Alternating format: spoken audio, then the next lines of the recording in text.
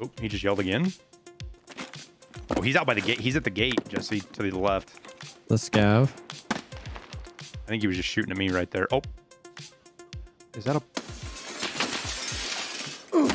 Ow. Where is he shooting me from? Hi there. I don't know. I can't see him. Oh my god. You can't kill me! He just tanked a shot in the head. He's literally got a bullet hole in his forehead, Jesse. We watched it.